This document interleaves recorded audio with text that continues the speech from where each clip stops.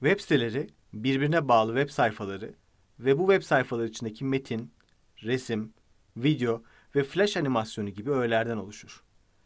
Tüm bu içerikler ve web sayfaları web sunucularında bulunurlar. Web sitelerini ziyaret ettiğimizde tarayıcı aracılığı ile bu sayfaları ve içeriklerini görüntüleyebiliriz. Web sayfaların içindeki öğelerin yerleşimi, görünümü ve diğer özellikleri HTML ile belirlenir.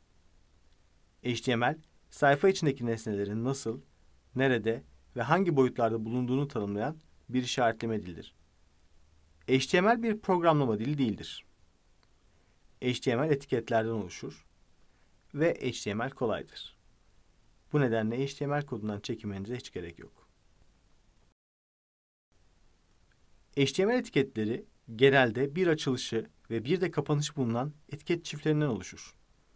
Örneğin, paragraf etiketi bir paragraf başlangıcını, kapanış etiketi ise paragraf bitişini ifade etmektedir. Bu açılış ve kapanış etiketleri arasında kalan metinler ise paragrafın içeriğini oluşturmaktadır. Bazı etiketler ise tek başlarına çalışırlar. Örneğin BR etiketi paragraf içinde bir alt satıra geçmeyi söyleyen bir etikettir ve açılış etiketi yoktur.